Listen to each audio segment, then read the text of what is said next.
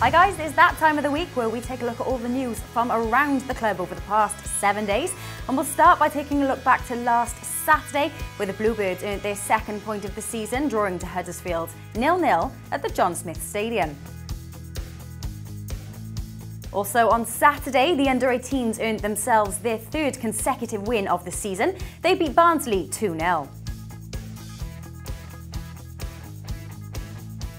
And it was a share in the spoils for the development team on Monday evening. They drew one apiece with Sheffield Wednesday. And on Tuesday, the 28th of August, the Bluebird bowed out of the Carabao Cup in the second round after losing 3-1 to Norwich City. And you can watch full extended highlights of all of those games on Cardiff City TV. And on Wednesday, members of Cardiff City Foundation took part in a three-day bike challenge, the Men of Harlech Challenge from North Wales to South Wales, all proceeds going to the charitable arm of the club.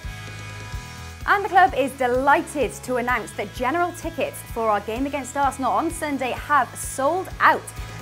And finally, as a reminder, should you like to continue purchasing merchandise and tickets online, you need to create a brand new Cardiff City Club account. And you can do that by following the instructions on our website.